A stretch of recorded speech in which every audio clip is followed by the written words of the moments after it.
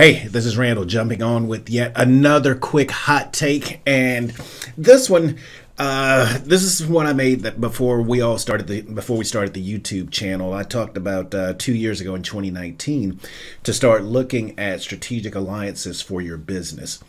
And uh, the idea being that if you pick the right strategic alliance, you've really and truly positioned your business for long term success. Strategic, we're talking about three to five years, and alliances, meaning uh, specific companies that you could work with that do things you don't do that give you a competitive advantage and that um, given some mutual interdependency both of your companies grow um, and start knocking it out the ballpark with regard to your sales and financial performance.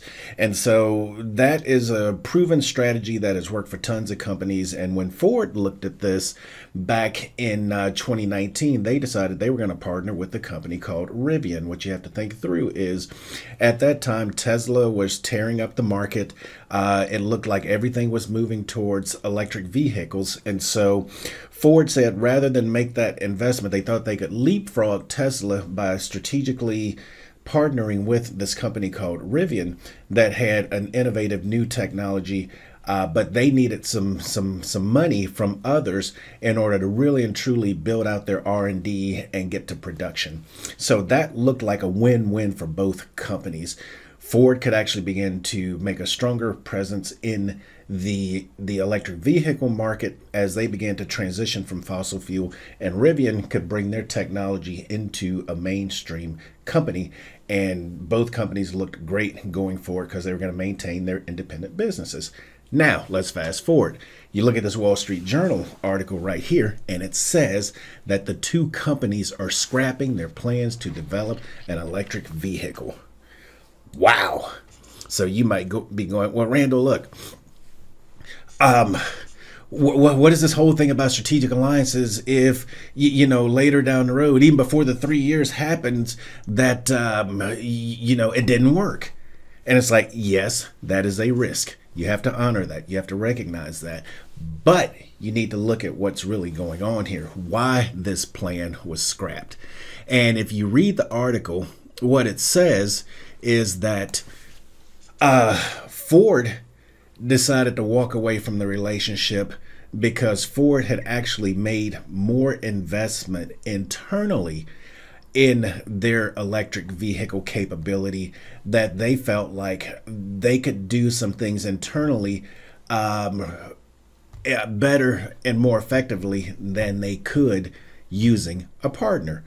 Now, think about that.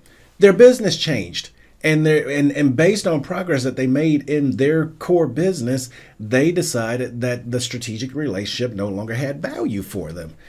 Now look at why rivian uh, felt comfortable walking away from this. Two things happened Amazon concurrently made a huge investment in Rivian, and Amazon decided that they were going to use Rivian for all of their their transportation vehicles. And anybody that uses Amazon knows that that's a ton of vehicles.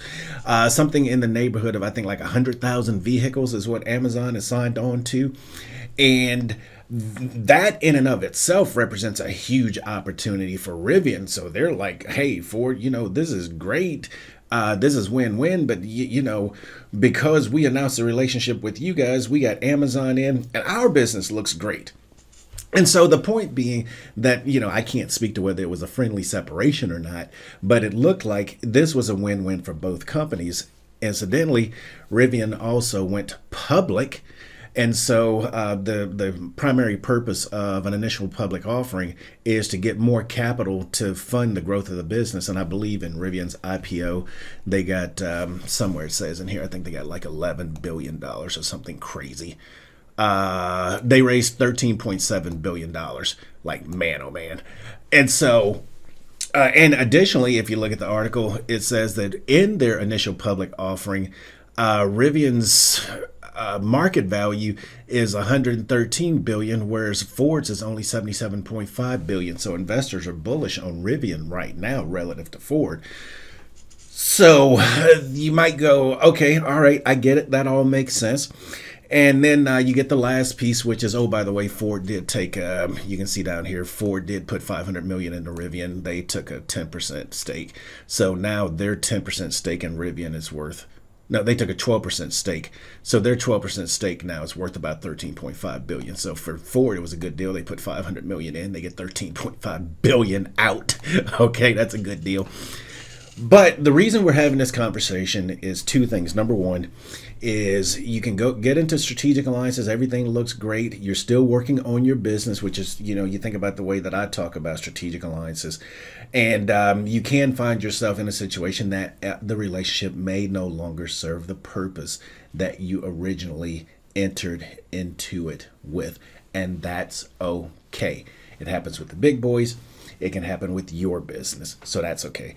The second thing that I want to mention to you, because you know we always talk about opportunities for XBEs. Uh, the other thing I want to mention to you is you want to look at this announcement and think through what does this mean mean operationally and strategically for each of the companies. If Ford is now feeling a lot more comfortable with their ability to drive electric vehicles on their own, what does that mean to their supply chain? Likewise to Rivian, and what opportunities might that create for your business? Just one of those things. Opportunity everywhere. This one, it's a more, it's uh, this this this hot take is more about once again uh, understanding the power of strategic alliances, how this sets you up, uh, what what it exposes you to, what you can do moving forward, uh, and how you adjust with what the market is doing your way. But in addition to being strategic about putting your business on the right path for long term sustainable growth, you can also look at when you see articles like this what, what are the shifts that are going on in the marketplace, and are there opportunities for your business? That's it for today's hot take. I'll see you on the next one. This is Randall. Bye for now.